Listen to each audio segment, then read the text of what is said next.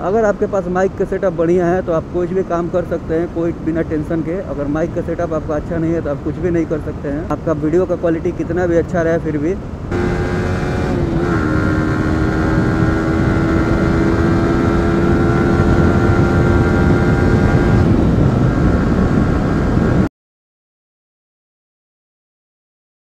जैसा कि आप सामने देख रहे हैं, हमारे सामने ए लिखा हुआ है और ए का मतलब आप लोग समझ चुके होंगे कि ये सैमसंग से है, क्योंकि सैमसंग का एक ईयरफोन आता है टाइप सी का, जो कि ए के नाम से आता है, जो कि करीब आपको नौ, उन्नीस या दो हज़ार रुपये कॉस्ट करता है।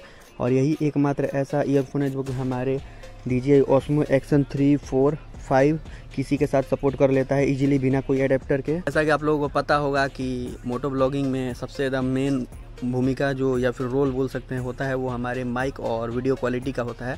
तो अगर वीडियो क्वालिटी आप कितना भी अच्छा दे, कितना भी प्रो लेवल का दे, लेकिन अगर आपका वॉइस का क्वालिटी अच्छा नहीं रहेगा तो लोग आपका वीडियो को वॉच नहीं करेंगे, जैसा कि मेरे साथ पहले होता था, लेकिन अब मेरे साथ थोड़ा बहुत इम्प्रूव किए हैं हम अपने वीडियो के ऑडियो क्वालिटी में। तो चलिए हम लोग आपको दिखाते हैं कि कैसे आप लोग भी इम्प्रूव कर सकते हैं, सस्ते से सस्ते सेटअप से। तो यही हमारा हेडफोन है, देख सकते हैं ब्लैक कलर का मंगाए हुए हैं, ताकि व्हाइट वाला तो ज़्यादा गंदा हो जाता है और इसका तार का जो वायर का जो क्वालिटी वो भी काफ़ी ज़्यादा अच्छा है। तो इसको फटाक से हम लोग अपने हेलमेट में सेटअप करते हैं, उसके बाद आपको वॉइस का क्वालिटी बाइक पर सुनाते हैं। थोड़ा बहुत खींच के भी सुनाएँगे किस तरह से आवाज़ आ रहा है। तो सेटअप दिखाने से पहले मैं आपको एक और चीज़ दिखा दूँ कि पहले जो मैं माइक यूज़ करता था, वो भी एक हेडफोन ही था सैमसंग का। तो उसमें क्वालिटी जो वॉइस का है, वो हम ऐड कर देंगे वीडियो में, किस तरह का आता था। हो सके मुझे सेटअप करना नहीं आता या फिर वो सपोर्ट नहीं करता होगा अच्छे से, क्योंकि उसमें जो है बाइक का आवाज़ आता था तो मेरा आवाज़ सही नहीं आता था। मेरा आवाज़ सही आता था तो दबा दबा सा बाइक का आवाज़ आता था। छोटा सा ये एक माउंट आता है।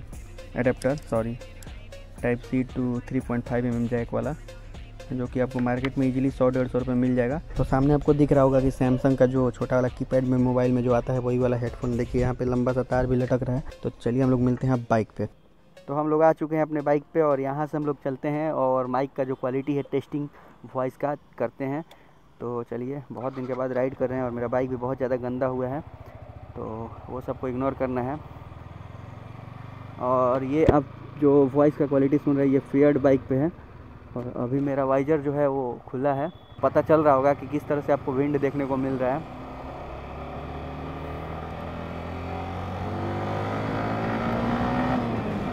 माइक का सेटअप हम इसी तरीके से किए हैं। और अभी थोड़ा बाइक मेरा तेज़ चल रहा है तो अभी वाइजर डाउन कर दिए हैं।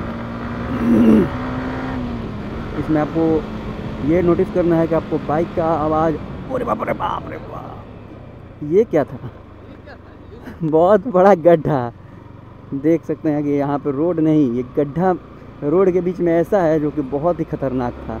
पता भी नहीं चला है। तो जो अभी आप पिछला जो ऑडियो सुन रहे थे और वीडियो का क्वालिटी देख रहे थे, वो D J Osmo Action three से ten eighty P by fifty FPS में शूट हो रहा था।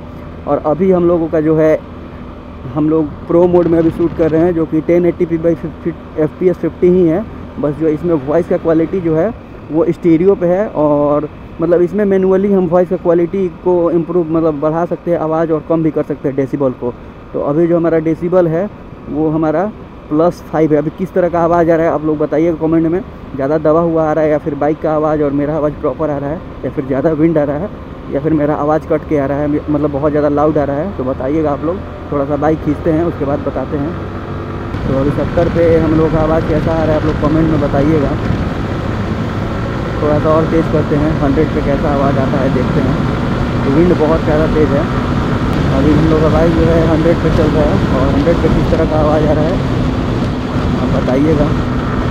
कुछ किस प्रकार का आवाज़ आएगा आपको। और अगर विंड ज़्यादा आएगा तो उसको भी कम किया जा सकता है। बाई डिफ़ॉल्ट इसमें सेटिंग है तो यूज़ करके। तो चलिए अभी थोड़ा सा माइक का सेटअप हम चेंज किए हैं, जो कि बाहर था मतलब कि बहुत ज़्यादा विंड आ रहा था तो अभी अंदर की तरफ़ किए हैं। अभी किस तरह का आवाज़ ले रहा है पता चलेगा। थोड़ा बाइक खींच के भी देख लेते हैं। तो अभी हम लोग का बाइक जो है वो सेवेंटी पे चल रहा है।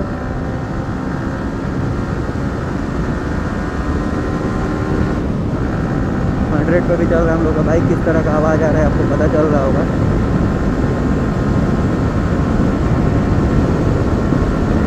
किस तरह का आपको आवाज़ सुनने को मिलेगा। मोटो ब्लॉगिंग में सबसे मेन चीज़ जो है वो है माइक का सेटअप अगर आपके पास माइक का सेटअप बढ़िया है तो आप कुछ भी काम कर सकते हैं, कोई बिना टेंशन के। अगर माइक का सेटअप आपका अच्छा नहीं है तो आप कुछ भी नहीं कर सकते हैं। आपका वीडियो का क्वालिटी कितना भी अच्छा रहे फिर भी। तो इसलिए फ़र्स्ट आप लोग का जो है माइक का सेटअप ज़रूरी है। मैंने इतने सारे यूट्यूब पे वीडियो देखे, इतने सारे कि अब मैं बता नहीं सकता। मैंने उसी चक्कर में एक हेलमेट भी बर्बाद कर दिया फाड़ फूड़ के। यहाँ सेटअप करना है, ये फाड़ के लगाना है, चीन पे, चीन चीन के पास कट करना है। सब काट कूट के बर्बाद कर दिया मैंने। लेकिन मेरा कोई सेटअप कंप्लीट हो नहीं पाया।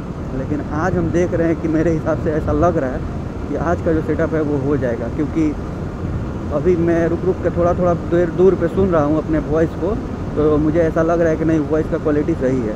और गाइस एक और बात बता दें आपको। अभी मैं फेयर्ड बाइक चला रहा हूँ स्पोर्ट्स कैटेगरी का आर वन फाइव है। तो इसमें थोड़ा आवाज़ आपको लग रहा होगा कि हाँ ऐसा आ रहा है मतलब ज़्यादा विंड आ रहा होगा, क्योंकि इसमें थोड़ा झुक के चलाना पड़ता है। यही अगर आप सेमी फेयर या फिर नेकेड बाइक चलाते हैं तो उसमें आपका वॉइस का क्वालिटी और भी ज़्यादा अच्छा आएगा। तो इस बार जो हमारा सेटअप है, वो हमारा, देख सकते हैं कि डी उसमें एक्शन कैमरा का कितना अच्छा क्वालिटी है ऐप का इसका, कि सामने ऐप भी दिखा रहा है कि यही ऐप में वीडियो शूट हो रहा है। चलिए हम लोग आगे बढ़ते हैं, और अभी जो हम लोग का वॉइस का क्वालिटी है, वो प्रो मोड में हम शूट कर रहे हैं, जो कि आपका गेन है डी, डेसीबल। वो हमारा प्लस टू में रखे हैं हम, और अभी मेरा वाइजर ओपन है तो आपको सामने दिखा भी देते हैं। बाइक बहुत ज़्यादा गंदा हो रखा है। अभी वाइजर ओपन है, वाइजर डाउन करते हैं, और अभी डेसिबल हम कम किए हैं तो इसमें थोड़ा वॉइस का क्वालिटी ज़्यादा मतलब कि दबा हुआ आ रहा होगा, विंड भी थोड़ा कम आ रहा होगा मेरे अकॉर्डिंग, क्योंकि जो डेसिबल का साउंड अगर ज़्यादा रखने पे विंड भी ज़्यादा आता है और आज विंड ज़्यादा भी है। और आप लोग बताइए, आप लोगों को वॉइस का क्वालिटी और बाइक का साउंड दोनों आ रहा है या नहीं आ रहा है? तो अभी हम लोगों ने सेटअप अपना चेंज किया है। अभी हम लोगों ने अपने मतलब वॉइस के क्वालिटी को जो है डेसिबल को माइनस वन कर दिए हैं। और अभी किस तरह का वॉइस का क्वालिटी जा रहा है आप लोग बताइएगा। अभी हम बोलेंगे नहीं, बस बाइक का साउंड आ रहा है या नहीं प्रॉपर बताइएगा।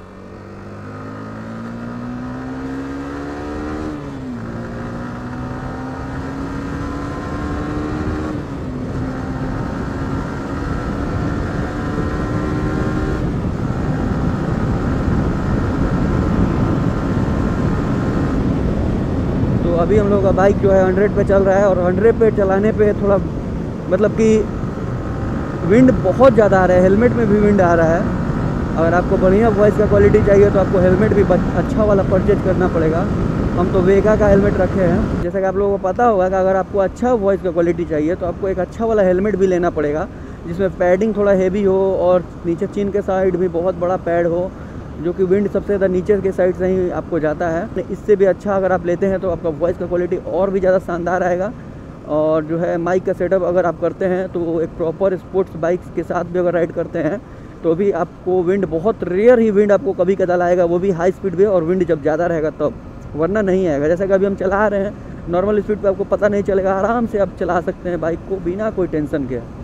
यही अगर आप हाई स्पीड पर चलते हैं तो थोड़ा विंड ज़्यादा आएगा, क्योंकि हेलमेट के अंदर ही विंड जाने लगेगा तो फिर कितना भी अच्छा माइक हो, काम नहीं करेगा।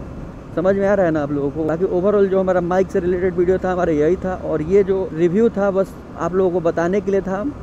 और अगर वीडियो आपको हेल्पफुल लगा हो तो वीडियो को लाइक करिएगा चैनल पर नहीं होंगे चैनल को सब्सक्राइब करिएगा। तो मिलते हैं किसी और अगले नए ब्लॉग में, तब तक के लिए keep supporting till then bye bye जय सिया राम